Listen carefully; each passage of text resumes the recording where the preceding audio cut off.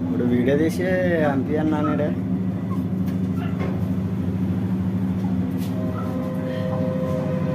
పద్దెని వేసుకున్నట్టయితే కదా నువ్వు నైన్టీ? పద్దెని వేసుకున్నట్టయితే కదా పో నైన్టీ అంటే.